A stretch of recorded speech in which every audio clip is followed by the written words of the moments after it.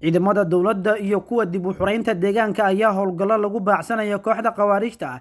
Ka sameeyey deegaanada baraag xasanley maalin cadaawe iyo baraag sheekh cabdulaahi kuwaas oo dhammaantood laga saaray kooxaha argagixisada ah dagaal dhex maray ciidanka deegaanka iyo kooxda khawaariijta ayaa looga saaray deegaanka sheekh cabdulaahi horjooge cabdifataax xasan gaafow oo ka mid ahaa horjoogayaasha dhibaateyn jiray dadka rayidka ah ayaa lagu dilay dagaalka.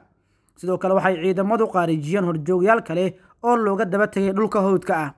Howlgalka waxaa hogaaminayay saraakiil uu ka mid yahay daa'uud abuukar daa'uud gacme kaas oo warbaahinta kula hadlay deegaanka sheekh cabdulaahi isaga oo sheegay in ay tani sugayso haddii aysan maalmo isku soo dhibin kuwa ilaa iyo haatanka barbar dagaalamaya kooxaha khawaariijta ah. Bismillaah alxamdulilah wasalaatu wasalaam calaa rasuulilah sala allahu alih wasalam eh, waxaan maantay soo aadnay howlgal eh, maaragtay khawaariji lagu baacsanayo waxaana ka howlgalnay oon joognaa haddana aan ku sugannahay.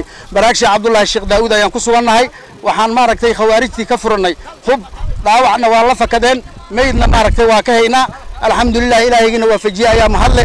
Waxaan marka dadka shacabka ee deegaanadan degan aan ugu baaqayaa inay khawaarijta maaragtay ka fogaadaan meelaha ay joogaan aysan ku dhiman kuna dhaawacmin ay iska dhiciyaan. Haddaysan ka dhicinayna ay ka dhaqaaqaan meelaha ay joogaan khawaarijtana waxaan ugu baaqayaa kuwa xumaa canaasiirta oo dadka deegaanadan u dhashay ee had iyo jeer xoolahooda iyo naftooda iyo dhiiggooda iyo cirdigooda iyo sharafkooda banaysanaya waxaan ugu baaqaa inay isu soo dhiibaan inay isu soo dhiibaan hadday isu soo dhiibi waayaanna waxaa hursan sidaanaa hursan sidaanaa hursan niman maaragtay oo maaragtay dadkan dadkan ka dhashay iyo deegaankan ee dhibaateeya ayaa jira.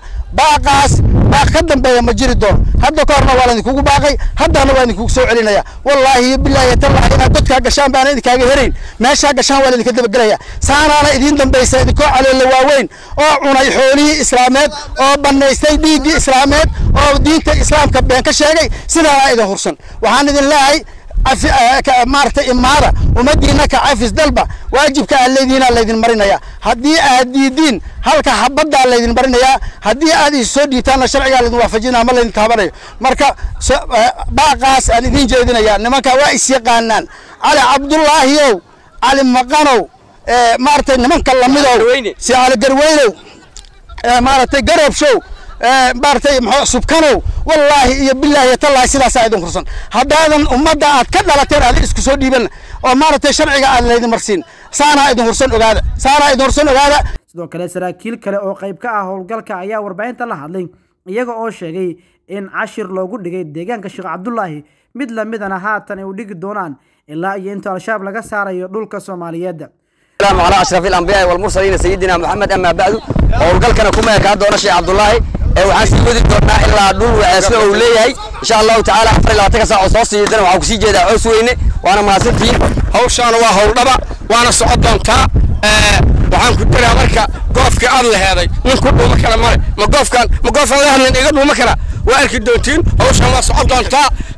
qabanina waa soo gabangabayhaynaa mardhow guddoomiyihii degmada ceeldheer ee kooxda khawaariijta iyo maleeshiyaad kale ayaa lagu dhaawacay dagaalka dhammaan deegaanadii lagu dagaalamay waxaa si buuxda gacanta ugu hayo ciidanka xoogga dalka iyo kuwa deegaanka ee dib u xuraynta. Halkan waa deegaanka baraagsha cabdullaahi oo hoos tagta degmada ceeldheer ee gobolka galgaduud.